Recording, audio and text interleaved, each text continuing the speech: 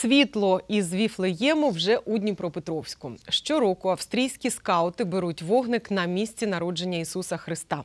Літаком передають до Австрії, а звідти до інших країн. Наші скаути з організації СКІФ привезли символічне світло миру із Польщі. Тепер передають усім охочим. Хлопці та дівчатка започатковують традиції. Наступного року знов вирушать у своє власне невеличке паломництво.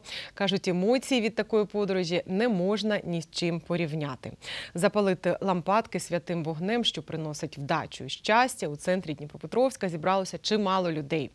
Дорослі та діти забирають із собою чарівні вогники у патріотичних лампадках, передаватимуть друзям, рідним, знайомим та просто тим, хто потребує трохи дива для свого життя.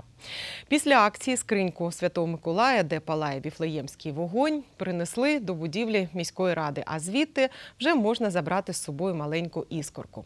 Активісти понесли вогонь далі тим, хто потребує. Будут ходить по волонтерским центрам, по госпиталям, по храмам.